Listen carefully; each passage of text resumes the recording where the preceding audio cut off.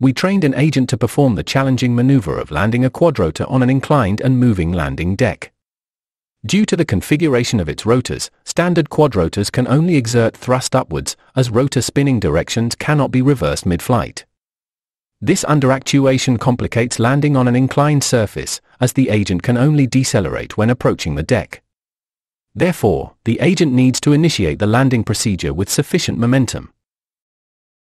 The agent's policy is trained in simulation using a model described by ODEs that were identified using real-world data.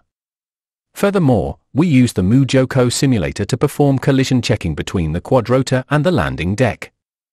This allowed us to penalize colliding with the deck and to check whether the quadrotor had appropriately landed. We evaluated the policy in three landing scenarios. In the first scenario, the drone approaches a static deck from the front, resulting in a 100% success rate over 10 episodes. We also evaluated the policy when approaching a static deck from behind and a moving deck from the front, both leading to 80% success rates over 10 episodes. Here you can see the policy in action when remote controlling the quadruped freely.